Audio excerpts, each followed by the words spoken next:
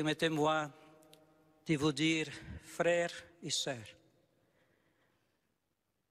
hier, le Père Wismik, vicaire général et moi, nous sommes arrivés ici pour participer avec vous de ce moment de douleur et d'espérance.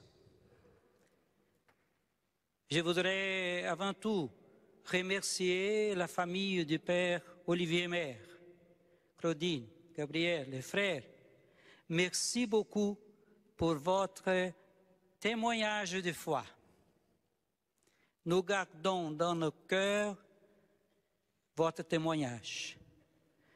Nous voulons, au nom de toute la congrégation Montfortaine, la Compagnie de Marie, remercier le pape François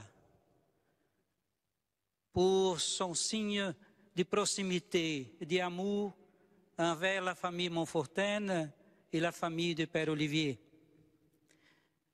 Merci beaucoup. La conférence des religieux, des religieuses ici en France, la conférence épiscopale, l'énonce apostolique, mes frères évêques de beaucoup de diocèses ici, merci beaucoup.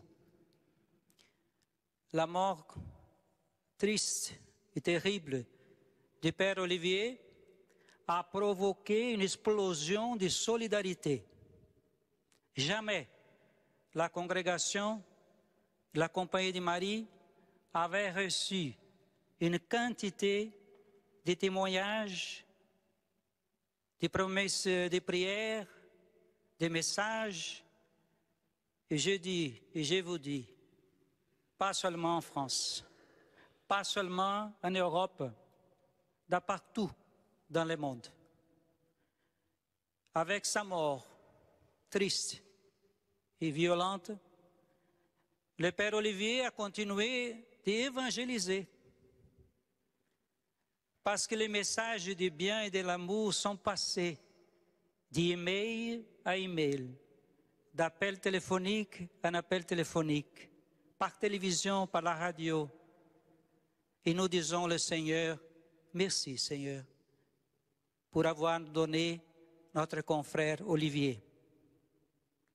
C'est vrai, c'est un jour de douleur, surtout pour la famille du Père Olivier Mère, pour l'Église, pour la famille Montfortaine, pour les sœurs de la sagesse, les frères Saint-Gabriel, les laïcs Montfortins de toute association. C'est une douleur énorme. C'est vendredi, comme le jour de la Passion.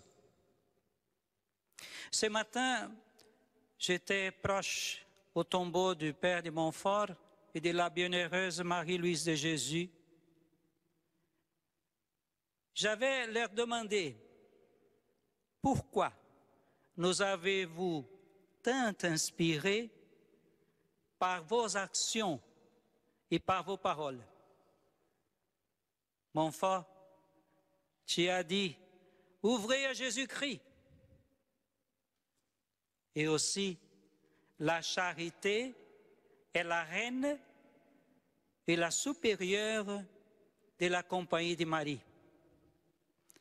Ah, bienheureuse Marie-Louise de Jésus, tu as dit aussi, si j'étais étoffe, je me donnerais aux pauvres. Nous avons entendu tout cela et le Père Olivier Maire et d'autres martyrs de la famille Montfortaine l'ont mis en pratique.